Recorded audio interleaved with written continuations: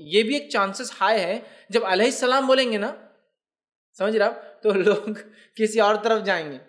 आप जैसा कि मिसाल के तौर पर देखिए, रहमतुल्लाह ये रहमहुल्लाह। अल्लाह उन पर रहम करे, जो भी दुनिया से चले गए, आप ये दुआ कर सकते लेकिन हमारे पास रहमल्ला किसको लगाते हैं? रहमतुल्लाह ख़ास शख्सियात को। जैसा कि आम किसी को नहीं लगाएँगे। अगर कोई कहे, मेरे वालिद रहमल्ला हाँ वली से तुम्हारे वालिद? फिर कैसा तुम रहमल्ला या रहमतुल्लाह लगा